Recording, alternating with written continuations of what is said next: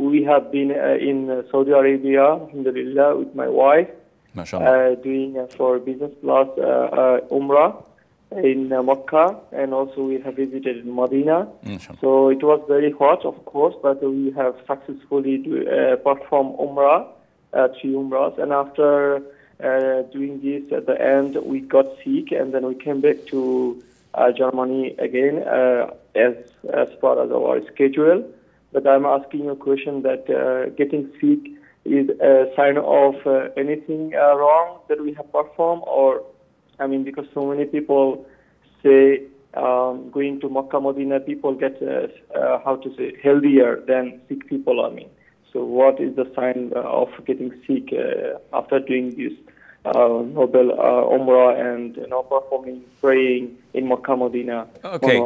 Okay, so Anam al Haq's question is crystal clear.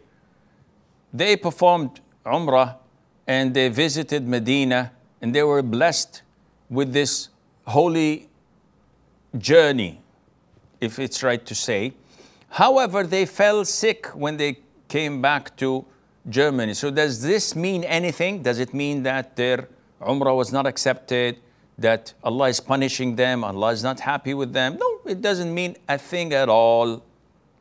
It has no relationship to um, your Umrah or to the validity of it or Allah accepting it or not accepting it.